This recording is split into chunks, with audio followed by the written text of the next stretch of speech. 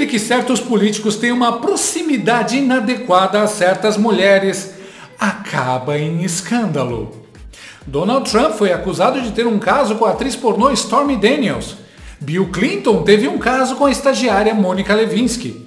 O ministro da Saúde do Reino Unido, Matt Hancock, defensor do lockdown e das medidas de distanciamento, foi flagrado dando uns amassos numa funcionária no auge da pandemia. Mas nenhum desses casos supera o mais novo escândalo do Brasil. Bolsonaro agora está sendo investigado por se aproximar de uma baleia jubarte. Bizarro, né? Mas ele já deu uma resposta genial para isso.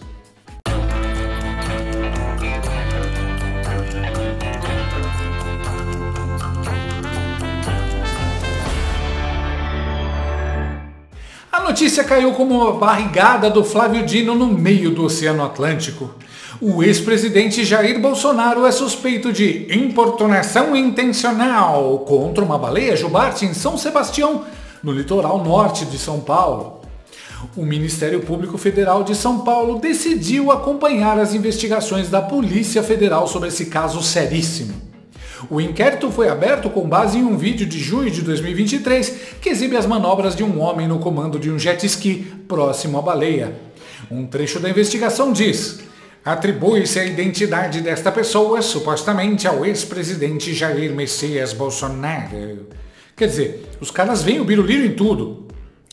O curioso é que no Rio de Janeiro, no sul da Bahia e no Espírito Santo, diversas embarcações fazem excursões em mar aberto para avistamento de baleias e chegam pertinho das jubartes, mas nunca houve um só protestinho da Polícia Federal e do Ministério Público. De todo jeito, a baleia ainda não foi encontrada para dar depoimento. Também não se sabe se nas eleições ela votou em Lula ou Bolsonaro, mas como as baleias são considerados os animais mais inteligentes do oceano, com certeza ela apertou 22. Questionado por populares sobre a situação, Bolsonaro deu a melhor resposta. Sabe o que aconteceu ontem? Ontem saiu é, não tinha mais o que falar. É. Falaram que o presidente está importunando as baleias. Ah, hum, a nossa. Tem uma baleia lá na escola dos ministérios que realmente eu estou importunando. É, é verdade, é verdade. Mesmo, imagina. Mas não é baleia, não é... Botando fogo na Amazônia. Mas é verdade, viu? A única baleia que não gosta de mim tá no ministério, tá ok? Como não amar esse cara? Claro, a esquerda já está surtando, acusando o Biruliro de.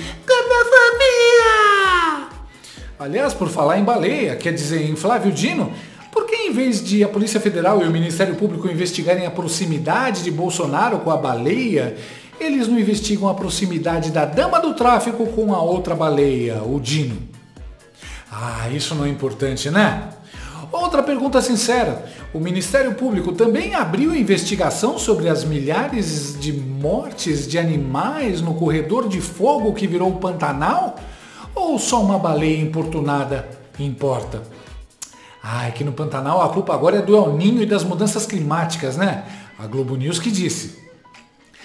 Depois esse pessoal reclama que a gente faz meme.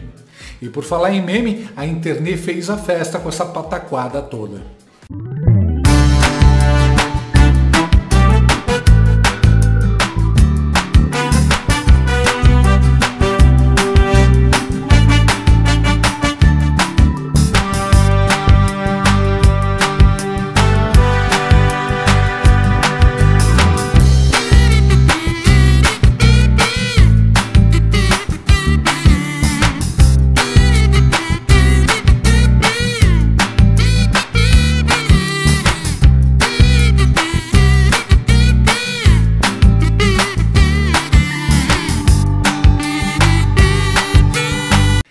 Situação bizarra que a gente está vivendo é o que acontece quando um governo de lacração, incompetência, revanchismo e deboche se apodera das instituições.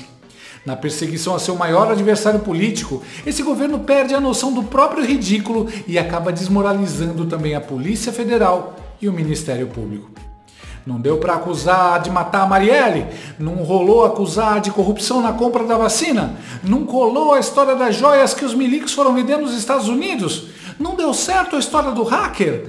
A delação do Mauro Cid também não tinha nada?